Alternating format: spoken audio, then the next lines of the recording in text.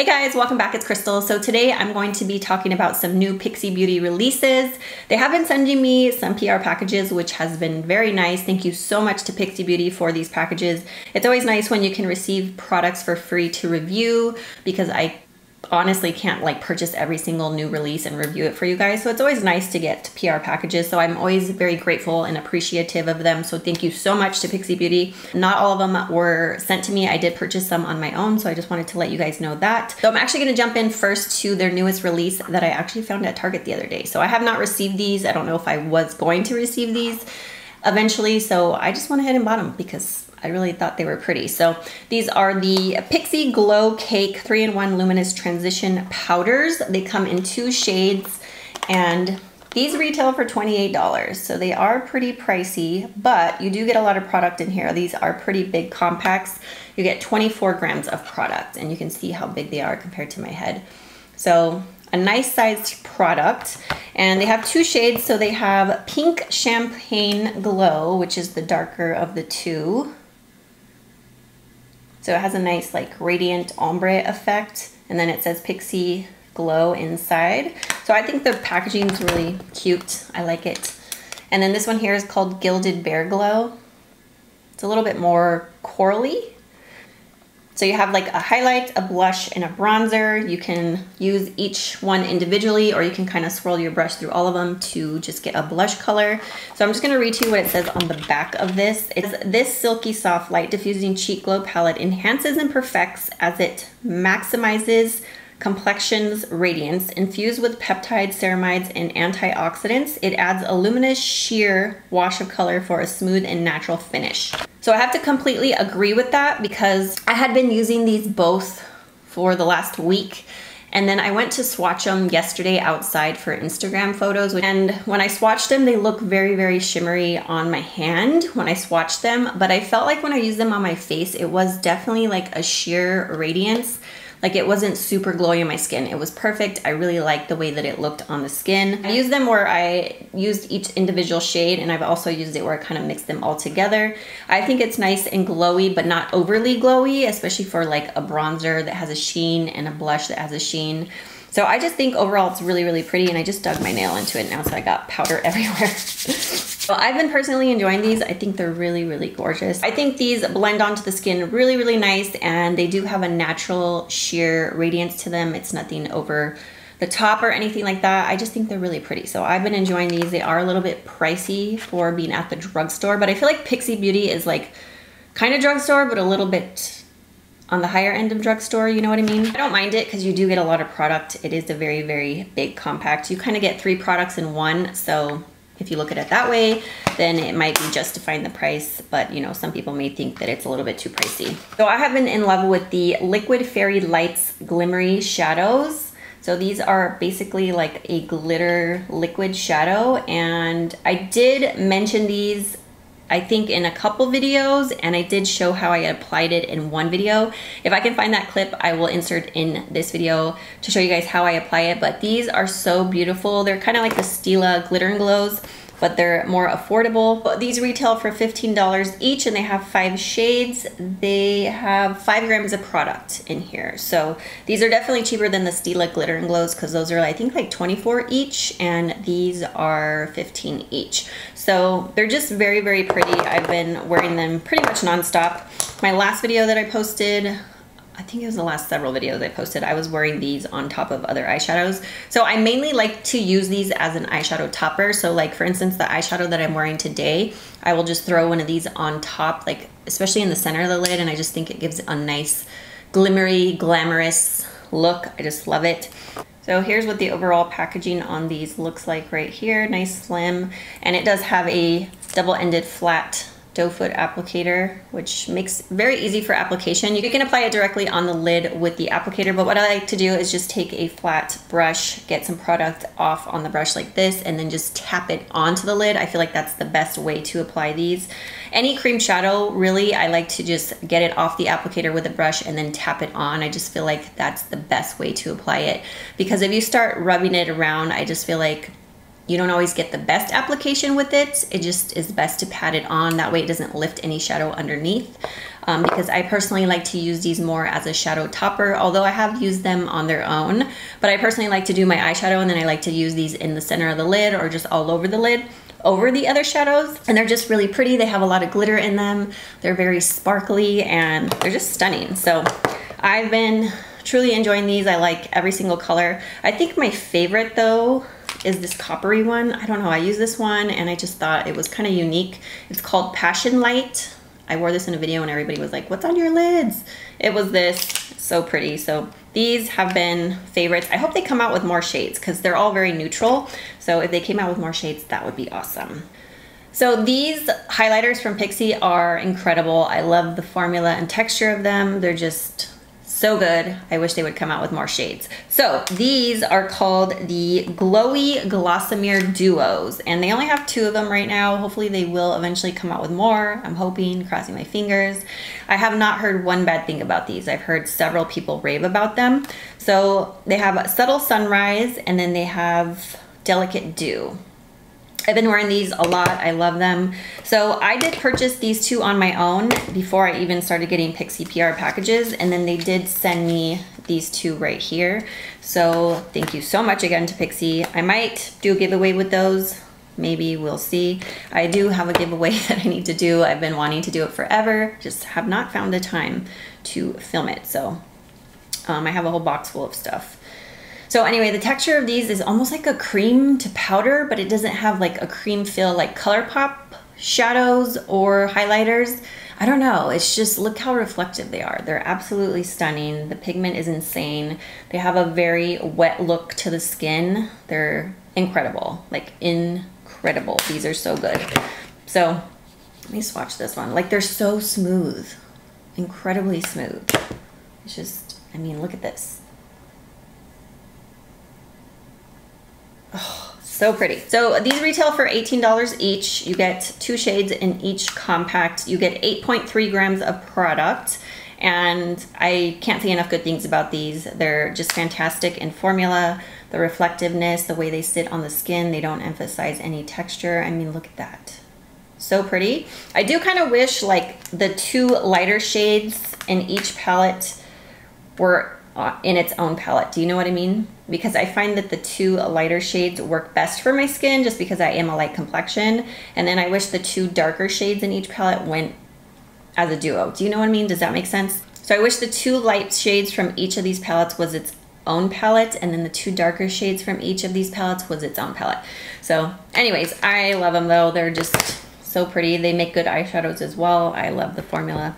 So can't say enough good things about these. Definitely recommend them. And then I did buy these a while ago myself. I bought them at Target. These are the MatteLast Liquid Lips and they come in six shades. I purchased three of them. They retail for $14 each and you get 6.9 grams of product in here. I just went for the colors that I think I would wear the most. Some of the other colors in the line are a little bit brighter. So I have Pastel Petal, Matte Beige, and Really Rose. All very neutral shades, very wearable shades. So it has one of those pointed slanted doe foot applicators. It's very nice, especially the point so you can get right on the edges of the lip. And they have a good smell. They almost smell a little citrusy. They're very opaque. They have a thin formula. That first one, there is Pastel Petal. So pretty. This one is Matte Beige, which is kind of a weird shade name for this because I don't feel like it's beige at all. that one right there. I do wish they had more shades of these, more nude shades in these. They do dry down matte eventually. Um, so that one is really rose. So really pretty colors. I really like the applicator on these. The packaging's cute. The quality of the liquid lipstick is really nice. It's thin, it's very opaque, it goes on nice and evenly. It's a nice even opaque application and they do dry down matte and it's just a nice overall formula so I'm really enjoying those. So then I received these eyeliner pencils from Pixi. These are called the Endless Silky Eye Pens and they're supposed to be waterproof. They retail for $12 each. They have 21 shades which is a lot. So I have a purple here which is called Velvet Violet. You get 1.2 grams of product in here. I have not worn the violet color. Um, I have Matte Mulberry which I've worn this one on the upper lash line. It's almost like a warm brownish slight plum tone to it. This one here is black blue. I've worn this on the waterline. And then this one is rose glow and I've worn this on the upper lash line. So these are all the swatches right here. So you can definitely see that this one is a blackened blue. It's a pretty dark blue. I wore that one on the waterline. I felt like the wear time was pretty standard for a pencil cream liner. I have watery eyes, so I feel like cream pencils don't last the longest on my waterline. Um, these I felt like were pretty average, like I could get a good four to five hours wear on it. Like I have one on right now from L'Oreal and it's already starting to wear down. They just don't last that long on my waterline and I personally don't wear a lot of eyeliner on my waterline anymore. I usually don't like to apply it, but today I did because I was trying out a new one. So um, on the upper lash line, I didn't have a problem. It lasted all day. It was very easy to apply, glided right on, very creamy, really pretty colors. So those were nice but I have not I have not tried the purple one yet. I cannot wear purple on my waterline or eyeshadow on my lower lash line. It just irritates my eyes the next day. I have like an allergy to like the purples or something. So can't do that. So if I try the purple, I'll definitely have to be on my upper lash line. Then I got this one here. It's the Eye Bright Liner, Inner Rim Liner. I've never tried this one actually. This is one product I have not tried. So it's just in nude. Um, like I said, I don't wear a lot of liner on my waterline anymore, but I will definitely give this a try. Comes in a retractable pencil, and I don't even know if you can see that swatch.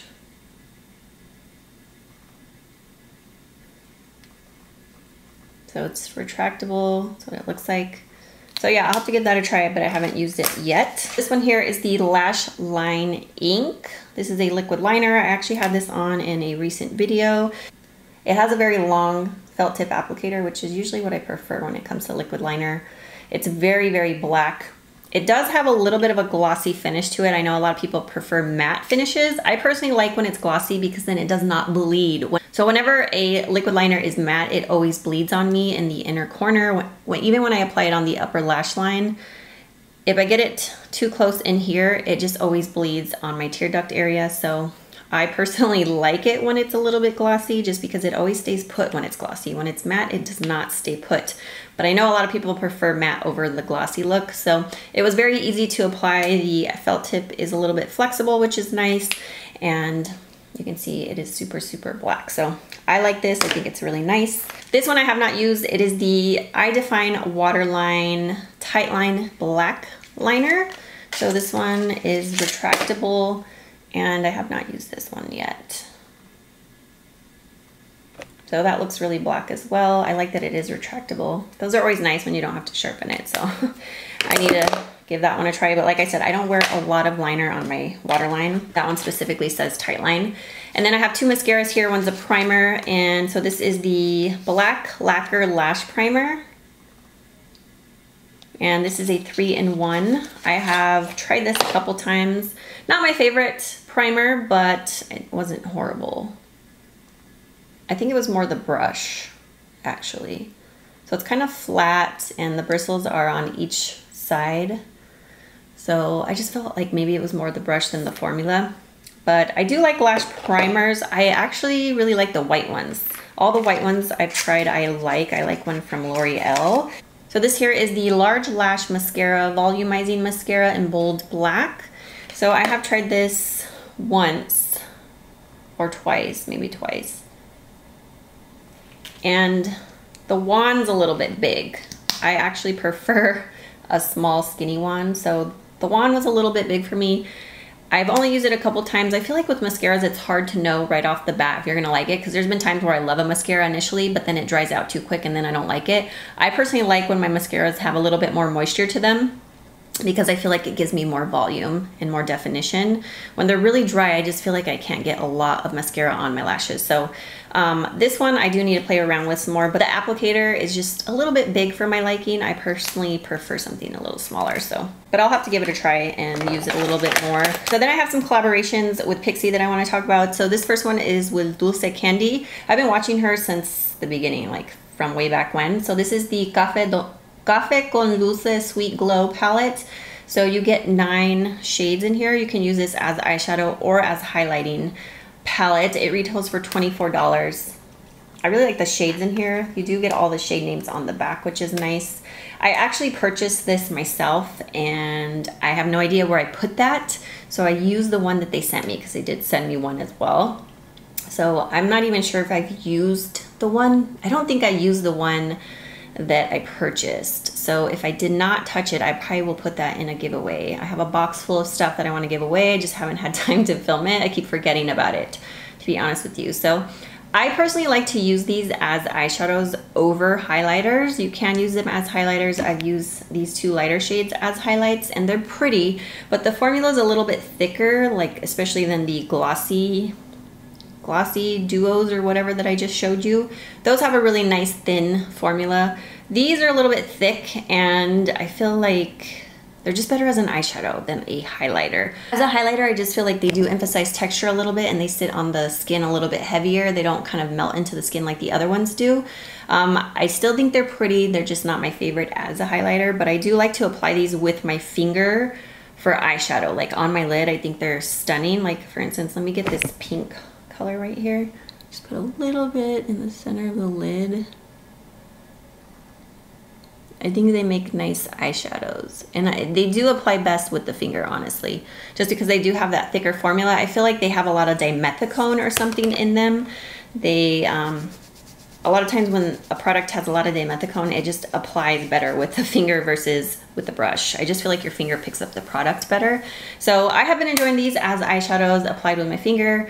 Um, I have used them though as highlighters. They're pretty as well. I just prefer them as eyeshadows. So like look how reflective they are.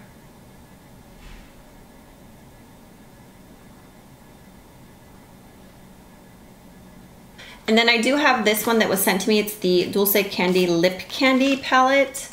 I don't really use lip products that are in pans like this. I feel like I should not even attempt to use this. I think I'm going to give this away and put it in the giveaway box. Next is a duo collaboration with a YouTuber. Her name is Wylie Hoang. I'm not sure if I'm pronouncing her last name correctly.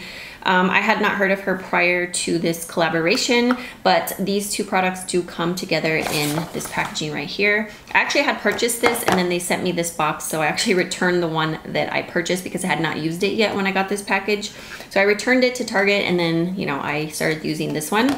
So this comes with a double-ended liner. So it has a felt tip liner, which is kind of similar to the one that they have that I already showed you very black, very easy to use. It has same kind of applicator on it. Might be a little thicker actually.